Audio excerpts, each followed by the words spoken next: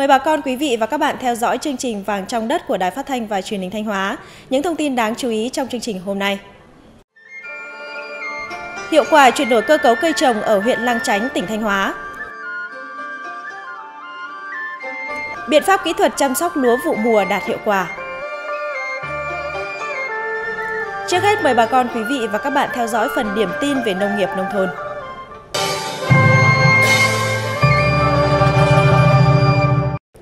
Thời gian qua, các địa phương trên địa bàn tỉnh Thanh Hóa đã khuyến khích tạo điều kiện thuận lợi để các doanh nghiệp cá nhân tích tụ tập trung đất đai để phát triển sản xuất quy mô lớn. Từ đó hình thành những vùng sản xuất nông nghiệp tập trung theo hướng bền vững, nâng cao hiệu quả kinh tế trên từng đơn vị diện tích, tăng thu nhập cho người nông dân.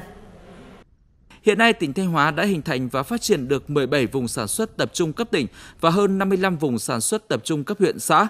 Để phát triển vùng sản xuất nông nghiệp tập trung mang tính bền vững, tỉnh Thanh Hóa đã khảo sát đặc thù của từng địa phương, từ đó ban hành nhiều cơ chế chính sách khuyến khích hỗ trợ phù hợp, nhất là chính sách hỗ trợ đầu tư hạ tầng đáp ứng yêu cầu của nền sản xuất hàng hóa quy mô lớn, đồng thời tạo điều kiện thuận lợi hỗ trợ các doanh nghiệp và người dân tích tụ tập trung đất đai, đầu tư sản xuất, tổ chức các hoạt động kết nối cung cầu, kết nối giữa vùng sản xuất với hệ thống phân phối.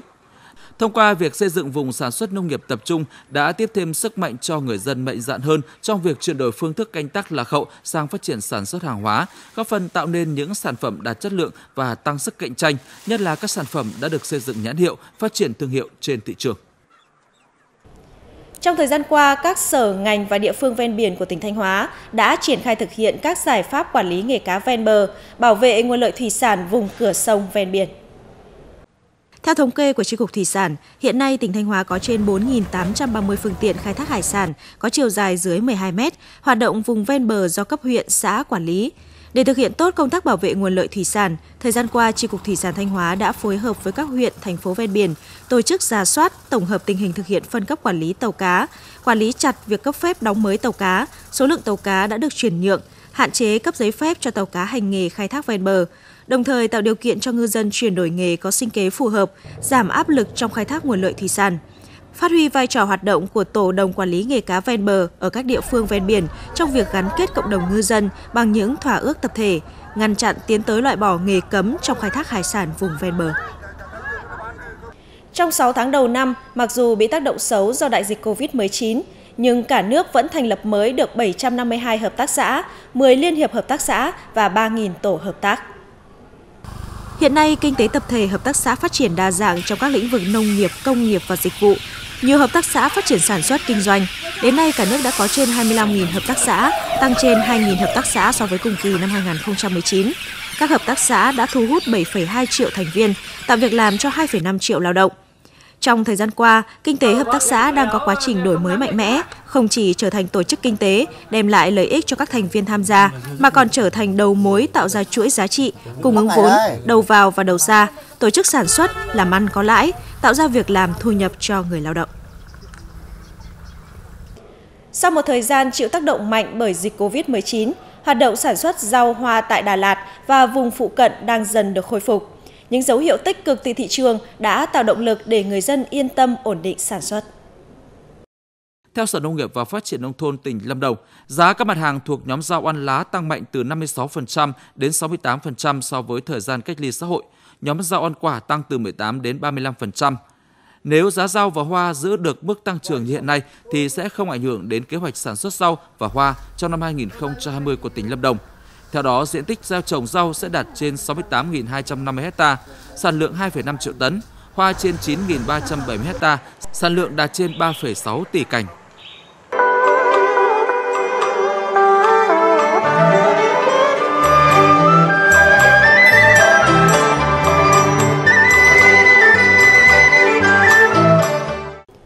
Thưa bà con, quý vị và các bạn, những năm qua, huyện Lang Chánh đã đẩy mạnh việc chuyển đổi cơ cấu cây trồng kém hiệu quả sang các loại cây trồng khác có giá trị kinh tế cao. Thông qua đó, không chỉ góp phần nâng cao giá trị sản xuất trên từng đơn vị diện tích, mà còn làm thay đổi tư duy của người nông dân, hướng đến sản xuất nông nghiệp bền vững. Với 2 hecta trồng cây ăn quả, trong đó có hàng nghìn gốc cam bưởi và ổi được trồng từ năm 2014. Trên vùng đất gò đồi, trước đây trồng mía, sắn hiệu quả kinh tế thấp. Nhưng trong 2 năm gần đây, gia đình anh Phạm Văn Hùng ở thôn Cốc Mốc, xã Đồng Lương, huyện Lang Chánh đã có thu nhập trừ chi phí khoảng 100 triệu đồng mỗi năm. Có được thành công này là do gia đình anh Hùng đã mạnh dạn chuyển đổi cơ cấu cây trồng, áp dụng kỹ thuật mới vào sản xuất, nhờ đó mà đã mang lại hiệu quả kinh tế cao hơn gấp nhiều lần so với các cây trồng trước đây. Tôi thấy rằng hiệu quả từ cái phát triển à, cây ăn quả so ra với trước đây gia đình tôi canh tác cây Ờ, công nghiệp cũng như cây luồng thì hiệu quả của việc phát triển cây ăn quả là tương đối cao so với các loại cây trước đây. À, trước đây thì một hecta nó chỉ đạt dao động từ 10 đến 20 triệu đồng. À, tuy nhiên á, thì đối với cây ăn quả hiện nay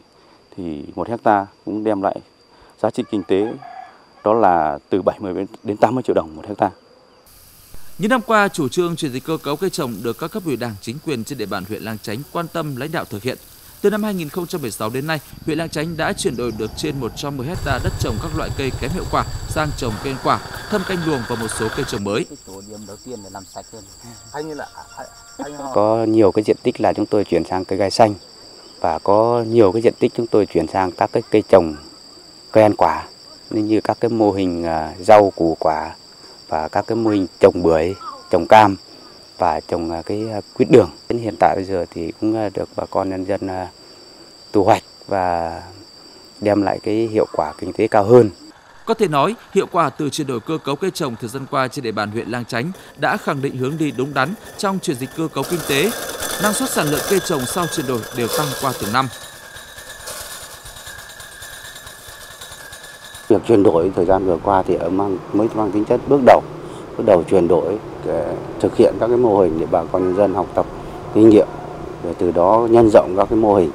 Ờ, trong thời gian tới thì huyện sẽ tiếp tục ờ, chỉ đạo triển khai đẩy mạnh cái công tác chuyển đổi cơ cấu cây trồng, các cái loại cây trồng có giá trị kinh tế cao bên cạnh đấy là xây dựng các cái chính sách để hỗ trợ và chuyển đổi từ các cái loại cây trồng bản địa sang các cái trồng mới, để làm sao mà nâng cao được cái năng suất, chất lượng hiệu quả Đối với huyện Lang Chánh, chuyển đổi cơ cấu cây trồng không chỉ góp phần tăng thu nhập cho người dân mà còn đảm bảo cho mục tiêu giảm nghèo bền vững. Vì vậy, phát huy kết quả đạt được, huyện Lang Chánh đang tiếp tục đẩy mạnh chuyển dịch cơ cấu cây trồng, gắn tái cơ cấu ngành nông nghiệp. Đây sẽ là hướng đi góp phần đưa sản xuất nông nghiệp của huyện ngày càng phát triển.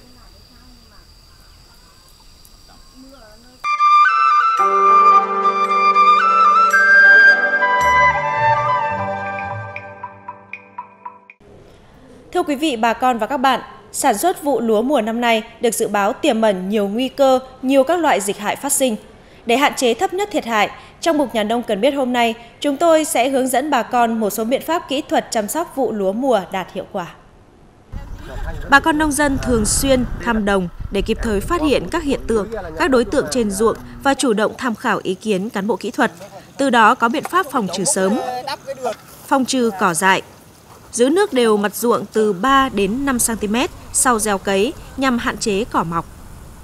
Khuyến khích làm cỏ bằng tay, bằng cào, kết hợp dặm tỉa lúa vừa hạn chế ô nhiễm môi trường, vừa có tác dụng sục bùn, tăng oxy trong đất, hạn chế nghẹt rễ.